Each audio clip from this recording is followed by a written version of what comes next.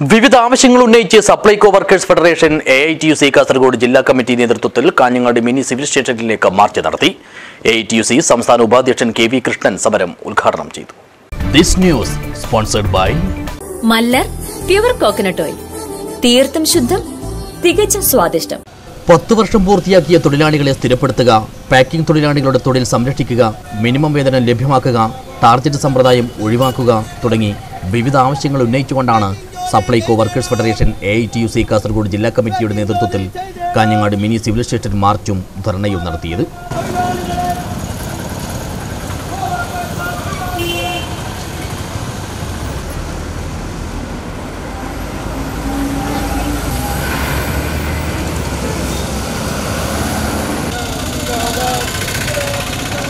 ഇൻകുലാബ് സിന്ദാബാദ്. ഇൻകുലാബ് സിന്ദാബാദ്.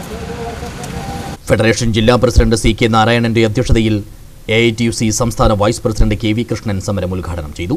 ദുരന്ത നാടുകളിലും ജനങ്ങളെ സഹായിക്കുന്നതിന് ജനങ്ങൾക്ക് ഭക്ഷ്യോൽപാദനങ്ങൾ ഭക്ഷ്യോ ഭക്ഷ്യവസ്തുക്കൾ അല്ലെങ്കിൽ നിത്യോപയോഗ സാധനങ്ങൾ എത്തിച്ചു കൊടുക്കുന്നതിൽ രാത്രിയോ പകലോ എന്ന വ്യത്യാസമില്ലാതെ കോവിഡിനെയും മഹാമാരിയും എല്ലാം അതിജീവിച്ചുകൊണ്ട് അതിന്റെ എല്ലാ പടിയിൽ ജനങ്ങളെ സഹായിക്കുന്നതിന് വേണ്ടി പണിയെടുത്ത തൊഴിലാളികളാണ് ഈ മേഖലയിൽ പണിയെടുക്കുന്ന തൊഴിലാളികൾ തീർച്ചയായും ആ നിലയിൽ ആ വിഭാഗം തൊഴിലാളികളോട് അനുഭാവപൂർവമായ ഒരു സമീപനം സ്വീകരിക്കാൻ നമ്മുടെ സംസ്ഥാനത്തെ ഗവൺമെന്റ് തയ്യാറാവുന്നില്ല എന്നുള്ളത് ദൗർഭാഗ്യകരമാണ്.